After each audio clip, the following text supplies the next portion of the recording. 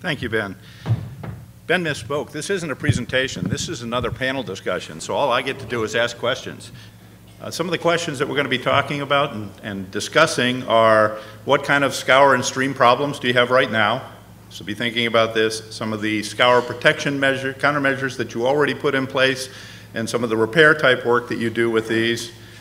Whether you do scour monitoring, if there's a number of different scouring, scour monitoring techniques, and we're just trying to get an idea of what some of the various things are that are used and what some of the issues are with them. And then do you have a threshold for repair measures? When do you go out and fix something when you see a scour issue? So if we can start with uh, one of the states that wants to volunteer and go through and discuss some of their primary scour problems. We've got a list here to kind of start you off. Uh, why don't we start with New York since you're right next to, I guess the, the question is of the types of scour problems that you've had, what types of problems, when you have a scour issue, what's the cause? What's the root cause? You know, are you having problems primarily at the piers, at the abutments? Is the channel migrating? Uh, you know, was the bridge just too small to begin with? Um, I would say the, the, one issue that I see a lot is, um, like scour at, at the abutments and, um, it would be like on the, say like bend of a river seems to be, uh, where you see it the most. Um, I know we have, uh, two scour uh, projects that we're doing right now that our bridge crew is going to do. And to, I guess, fix the problem, we're just doing a, um, a six inch knee wall. You know, so pretty much just coming out six inches, um, using sandbags and, and plywood and just, you know, filling it with concrete. And then uh, what type of scour countermeasure are you putting in front of that once you've put it in place? Is it primarily riprap? Uh, yeah, yeah. And to stop it with riprap. Was, was it because it was, wasn't deep enough, that footing? Yeah, we're bridges that were uh, built like 80 years ago, so, you know, different design standards, so. We have a lot of that in New Hampshire also, that they went down, you know, three feet and not always even below the stream level and put minimal amount of riprap in front of them. And that's one of the issues that we have as we're going through.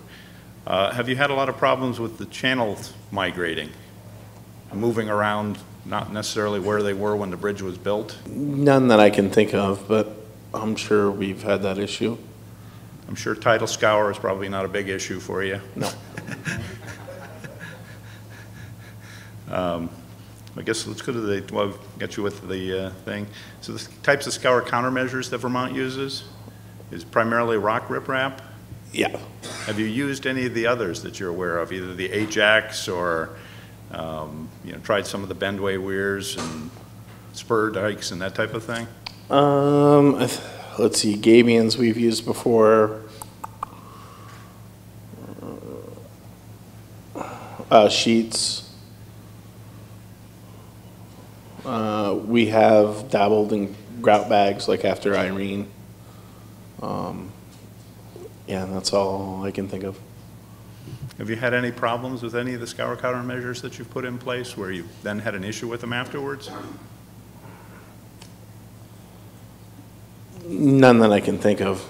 Um, a lot of times, you know, say like after Irene, what we did for, to repair the scour was just kind of like a Band-Aid until we could replace the bridge.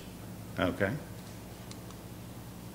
Does Vermont have any special scouring, scour monitoring measures that they use? There are a number of products out there that I don't know that are used in a lot of New England states, but one of the ideas is if there's something out there that's working that we'd like to know about. Um, other than, uh, you know, the inspector's walking stick, that's about it, you know. Okay. Uh, Do we have another state? Uh, Nova Scotia is looking. So as a province, we're responsible for a lot of uh, local roads, and over, around half our inventory encompasses timber bridges. Many of those are on timber crib abutments. And so they're fairly forgiving, but uh, often, often they're open face, which are susceptible to scour either through the face of the abutment or underneath. So Something that we've used in the past couple years has been a, uh, the geo, uh, geofoam. So you get the company in and they spray and they essentially fill all the voids within your abutment. They can get in underneath and in some cases even lift the abutment up to help stabilize it. And it can also help your roadway approaches if, if you have problems with your approaches and potentially even lift the asphalt without having to dig down and repave or whatnot. So that's something that's been relatively successful for us in the past couple years, and we're still using it to, on a couple projects now. Are there any construction issues with that when you're next to a stream pumping geofoam? Are you dewatering when you do it, or? We're typically trying to isolate from the stream uh, as much as possible. The foam also, they can't really inject into the water itself, so you need it as dry as possible. But you're, it's not like you're using grout where it can flow anywheres. You, you're not getting sedimentation into your water. Um, the biggest thing that we do is we'll put uh, a silt fence downstream just to catch any foam chunks that might start floating away. Uh, but as soon as it comes out of the gun, within seven to 14 seconds, it's set up. So, and it's inert. Uh, environment's been pretty accepting of it for us. So what type of protection do you put in front of your walls then after you've put the geofoam in? Are you just, Kind of depends on the scenario. We're often trying to work uh, at low water levels, so we'll wait till late summer when the water levels are low as possible. And then it, it really depends on what the scenario looks like, but it could be anywhere from just sandbags to uh, dewatering, pumping, your, your standard methods, really. Okay, do you put any protection to protect the bottom of the geofoam after you've finished, or has the geofoam itself become the protection for the bottom of the abutment? Well, the geofoam, depending on how they inject it, can actually just migrate down as deep as the expansion will allow it. Uh, and then in some cases, if you're looking to get deeper, they can actually drill further down in underneath your abutment, and it's just a, a- like a rod. And then they stick their probe down in, inject it, and it expands out into your, uh, into your fill or whatever's underneath your abutment. I guess, uh, what I was asking, do you put riprap back in front of it afterwards to, or is this, Yeah, we typically would, just as par for the course for the most part. Helps protect, I mean, if, especially if it's a wood, uh, wood abutment, it's protecting the wood uh, and just future prevention of, of any scour that might happen. Do you have any other scour measures, uh, countermeasures that you're using? Either the, you know, again, A-Jacks type articulating block or putting in um, stream training methods to move the stream away from an abutment? Pretty much just the standard sort of stuff that you've mentioned already. We've, uh, in some cases, if we've had a scour underneath the abutment, we'll, again, at low water times, dewater in front of the abutment and cast a false footing, if you will, and uh, so it's essentially the same as what I talked about with the foam, but you're using concrete or grout to get in under the abutment. Um, it seems to work all right. We've also used the grout bags in certain scenarios, um, but pretty much just your standard sort of countermeasures. Do you do any, um, other than the uh, walking stick, any other types of uh, scour monitoring? Uh, Do you have any uh, bridges in particular that you're monitoring in a special way? Not especially unless there's a specific known problem with the bridge. And if we have a known problem, we're trying to address it within a reasonable time frame. Um, Scour is pretty much the cause of, any failures we've had in the past of structures, scour is a contributing factor. But the problem is, when they built these bridges however many years ago, they are often building it as short as they could, uh, building a causeway out and then a short span to cross over the water. So you get some of these larger storms and it's just blowing it right out. Probably four years ago now, we had a, a really large rainstorm event and it washed out 14, 15 structures in this one very localized area. Communities were isolated for uh, two, three weeks. They only had access by all-terrain vehicles, so, because that was, there's only one road in, one road out. So, uh, a lot of it's just the old, old design didn't really take into account potential flood issues, and so we're just monitoring whatever we can to try to mitigate, mitigate those failures, but there's only so much you can do with, when the span is so small. Okay, so somewhat uh, undersized bridge opening is a part of the problem that Yeah. you're seeing. Yeah. Okay. But those are structures that are 40, 50, 60 years old. Um, Connecticut, do you want to go now?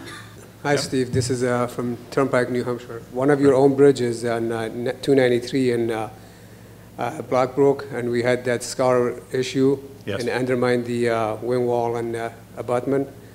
And right now, we are treating it with the uh, gabion wall in front of it, and I have a picture of it here, if you want somebody to see it. You're- You're putting in the Gabion mats in front of that one, correct? Yes, we did. Yes. Just want to share that with everybody here. Not so many issues to talk about, but uh, as a design practice, Connecticut uh, designs our structures on uh, rock or deep foundations when they're over waterways. Um, When we do uh, design, or when we get permission to uh, use a scour countermeasure instead of uh, building on rock or deep foundations, uh, we'll use uh, permanent steel sheet piling as a cofferdam, permanent cofferdam. Um, We may use uh, uh, mat revetment. Uh, I'd like to start using some of the jacks, but I haven't, haven't used them on any projects yet. Um, uh, We have used uh, in the past a product called Trilock, which uh, articulates very well um, across uh, in, in any direction because it's a three-sided block. Uh, but the key that we found to success in uh, these revetments is toeing them in properly. Um, if, if you don't uh, anchor them down on the leading edge of the water, the water will just peel them up and you lose everything. So uh, it's very important to toe them in properly. Uh, the reason that we don't go with them very often is because of the environmental considerations. Uh, as you go to toe them in, you're disrupting more of the environment. Uh, so uh, we, we tend to stay away from that and uh, build our abutments and walls farther back from the channel. As far as scour monitoring, our bridge safety staff do have techniques of scour monitoring, but I'm not familiar with them to talk to you about. Back when we first started the uh, scour issue in the 90s, early 90s, um, we had a lot of structures similar to like, I guess, what everybody had.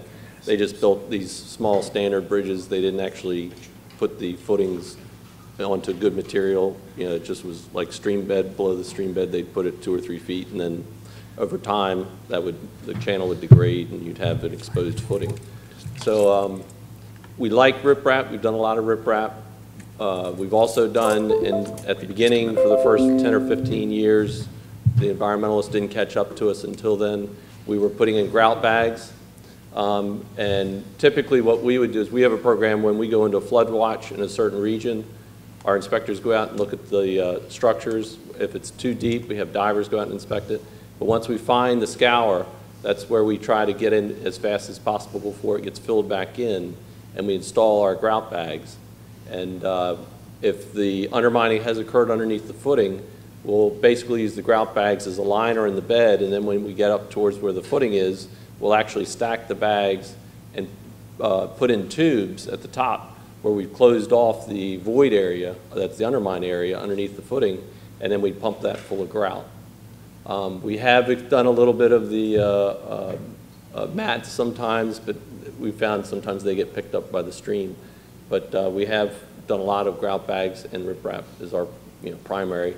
Uh, Sheet piling, like I said, we did a, uh, the Geiken system where you drive sheeting in front of some structures, but that's very expensive. Um, Scour monitoring, we actually, uh, we do like everybody, you know, scour pole or whatever, underwater divers, we have uh, on staff, or on uh, contract, uh, three dive firms, so every time we go into this flood watch where we actually have uh, significant flows or overtopping of a structure, the divers go in if the water is deep enough.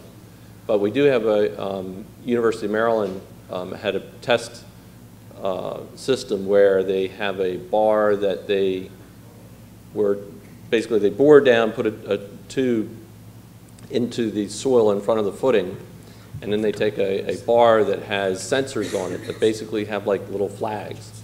And what it does is, they can, and they have a wire attached to it, and it's a monitoring system.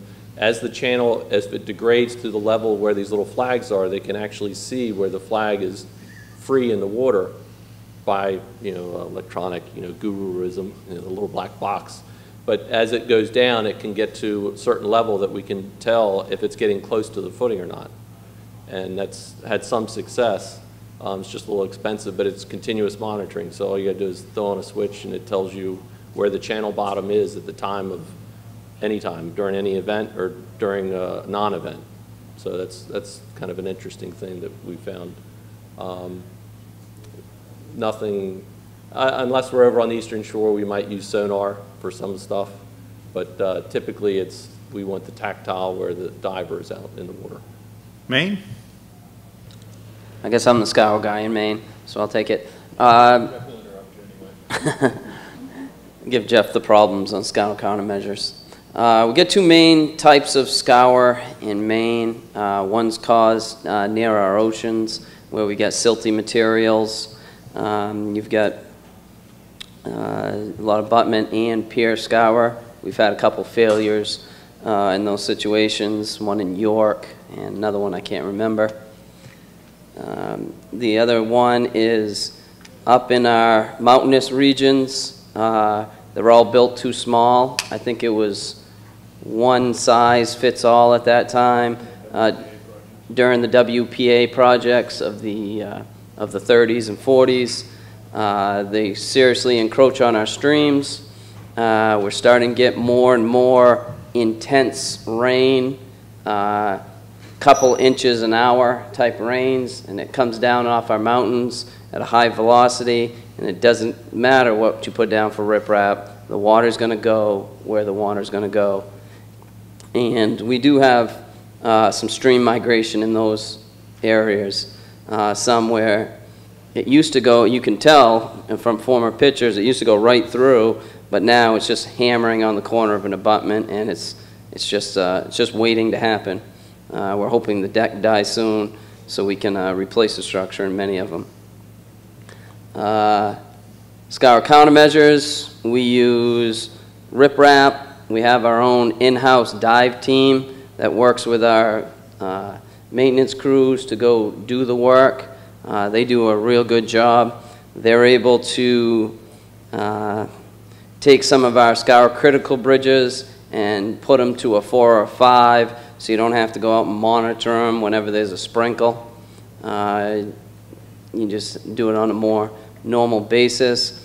Uh, We've used A-Jacks in one area, uh, but the, the choice for the scour countermeasure, that's done with our bridge design section, um, and, because we don't want to deal with the environmental negotiations, because we don't negotiate all that well. We do have uh, cable mats, and I'll hand it over to Jeff to talk about cable mats. I, I think, like Ben said, we use those three. We use riprap, uh, uh, grout bags, and these cable-tied articulated blocks. The issue I've found with those is, we've talked about them rolling up. Um, That's at the, where the interface between, at the beginning where the mat is. But the other place you have to look for is in the mat. What happens is, is the supplier keeps the tie too long. The tie sticks up, debris gets on it, in, in our climate, debris, then ice, then more debris, then ice, and it rolls the mat right out. So not just at the beginning, but in the middle of the mat, it begins to pick it up. So on two contracts, I think we changed the spacing on the mat to make it, we'll say, two inches, very small, so you don't get that loop of excess cable so that debris can get on it. So that is the tip I want to leave you with, is start to look at your mats to find out if your cables are too long and catching debris, and part of the reason for them peeling out, so to speak. If you get them short, you can talk to the supplier when they're building them and make them real short, and you won't have that excess material. Jeff is right, and, and uh, it's very treacherous, too, if anybody's walked the, around a site where you've laid the cable mat with all that tie wire. I mean, you gotta watch your step, or you're gonna take a tumble, you know, and uh, I'm really fearing that sometime the kids are gonna be down there swimming or fishing or something, and they're gonna take a tumble. And uh, bags, having a, in, I think just within the past two weeks, they accomplished, I think they did 10 projects. And these are cheap. I mean, you can, you can go in there for four or five grand, you know, and uh, stabilize a bridge and save you a lot of money and a lot of heartaches. On scour monitoring, what we do, uh, we got our dive team, we got our inspectors. Uh, We don't do any fancy-dancy stuff because we got so much ice and debris coming down, it's just gonna knock it out and break it. We've tried it once in the past, and it just doesn't hold up in, on main rivers. Pennsylvania will mimic what the other states have said. You know, we deal with scour too. It's a big issue. Typically, our scour countermeasures is a, is a riprap, a stream bed paving, or, you know, we're gonna put like Nova Scotia was saying, like a, a cur- concrete curtain wall. We'll go in and de-water, pump it out, we'll we'll pump into concrete, form a wall up in there. And normally, in a smaller type of uh, structure, if we have a couple curtain walls on both abutment stems and are still having issues, we, you know, we might go back in and do a stream bed paving, you know, we have to do that. But typically, it starts with the riprap. Uh, grout bags have been done before too. I agree with what you're saying, but there's a little bit of other opinion on grout bags above my level that we're trying to get away from them, but they are quick. We have used them. You buy a Sakrete bag, you put them in there and fill them up, you know, so. That's basically at. Scour monitoring, we do, there is a few, a couple bridges in the state, I can't tell you which districts are in. I think they're around, maybe one around the Pittsburgh area, that they have a, uh, like scour balls, and I think they have the University of Pittsburgh monitoring that. It's like a project or, so, know, we have the underwater divers under contract. Uh, We don't do that in-house. And that's basically it, some tilt sensoring. There is some sensoring in Pennsylvania, some scour critical bridges and the float out scour balls. Any issues with permitting for uh, channel paving? We will get the permit through DEP, uh, DEP's 11, general permit 11, I mean, we'll get them. We'll figure that in, Okay. in the process. I was going to say, we have extreme problems getting permits. We We're taking anything out of the natural stream bottom. It's not easy anymore, you know, we don't do a lot of stream bed paving anymore, but we will do it. If we feel it's necessary, we'll get the permitting. Do it. It's one of these catch-22s that when there's a storm, we can do anything we want to do under an emergency permit. And we've often joked about the fact that we should just take and have a huge pile of riprap somewhere, so when there's a storm, we can go out and do all the work we really need to do. Exactly. Because we can't get the permits to do them if there isn't a storm and there isn't damage, Right. so. We, of course, have all the problems that have been mentioned.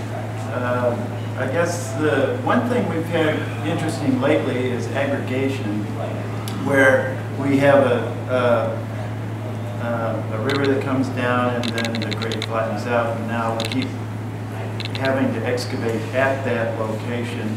And in some cases, it'll be quite a long ways, and permitting that is just about impossible, so we've kind of more or less turned away from it because of the permitting issue, uh, which is kind of too bad. But uh, in, in years past, people just cleaned out the stream, and now it can't happen anymore.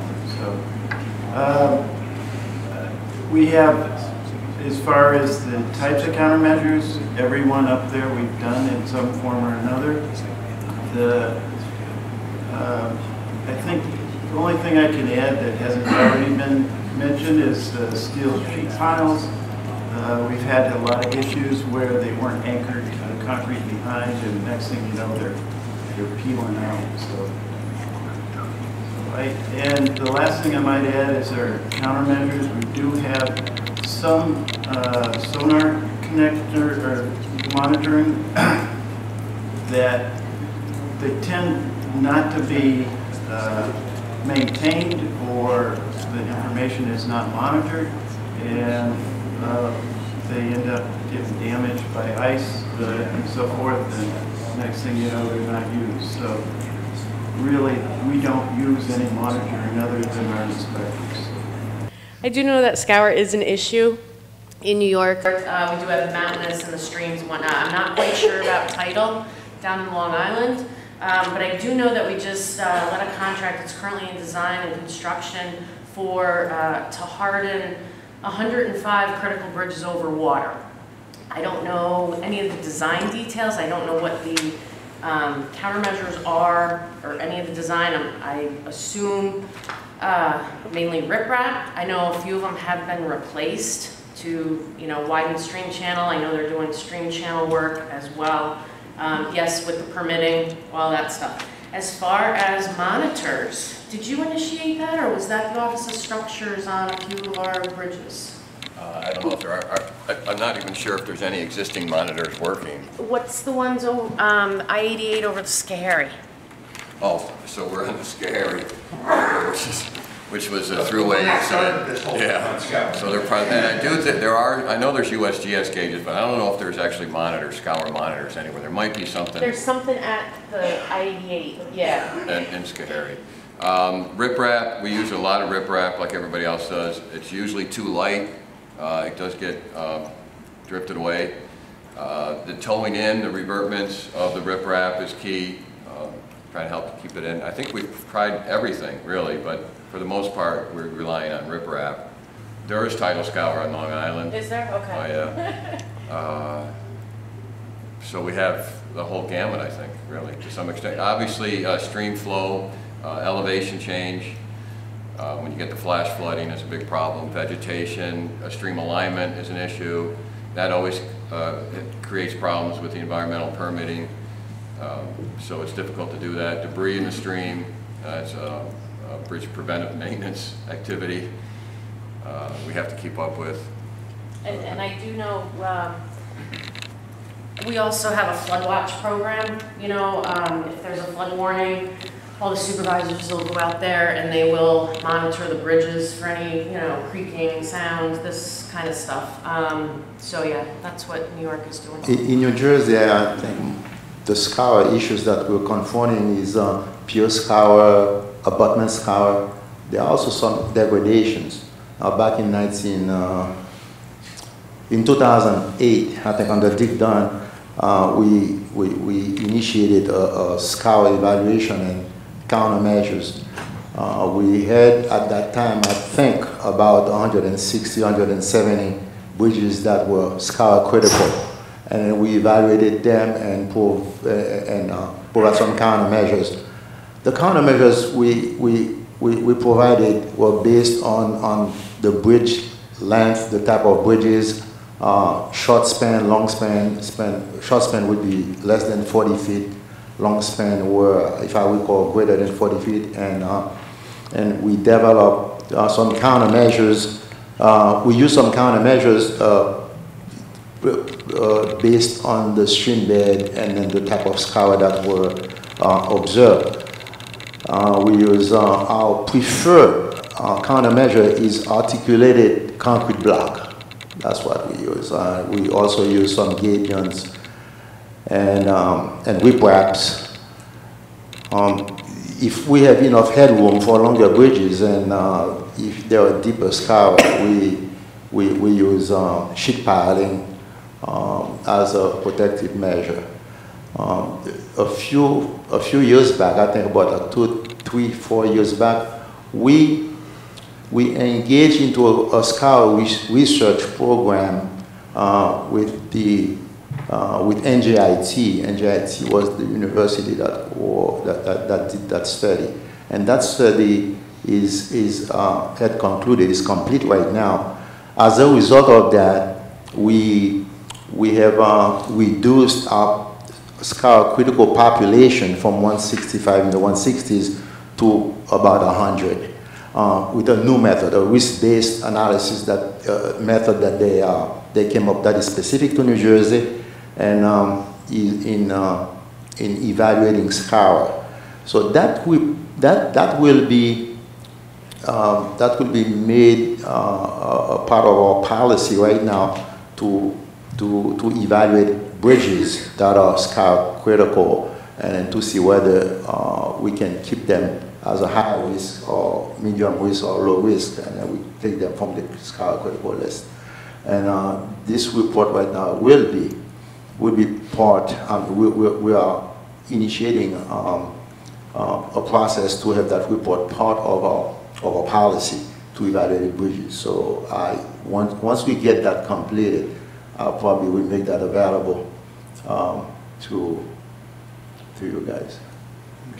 With the uh, A-Jacks, do you have any trouble placing them? I know we've used them once in New Hampshire, it was under contract, and one of the concerns they had was placing them in the correct location.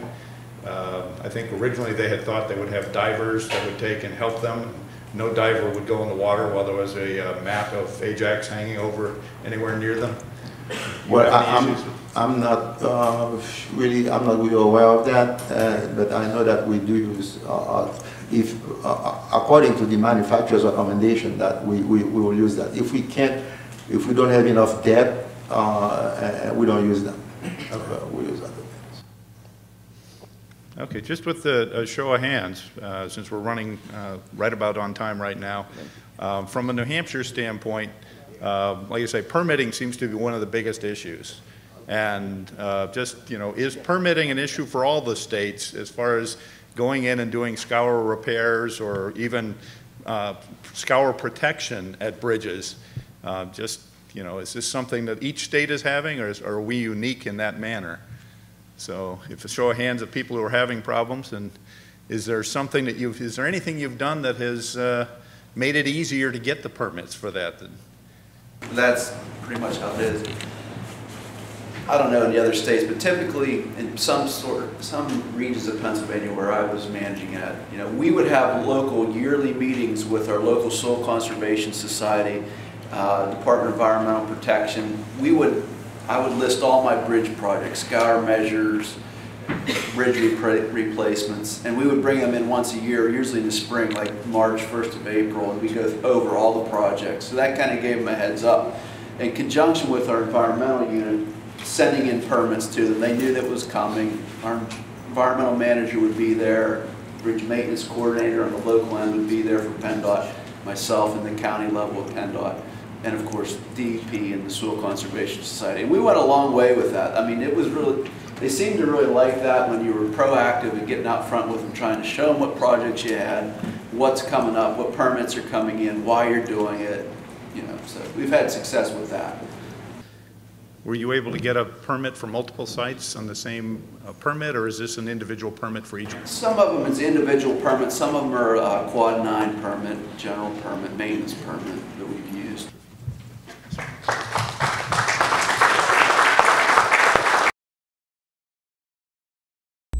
The preceding video was produced by the National Center for Pavement Preservation. More information can be found at tsp2.org. That's tsp2.org. Additional support provided by Michigan State University.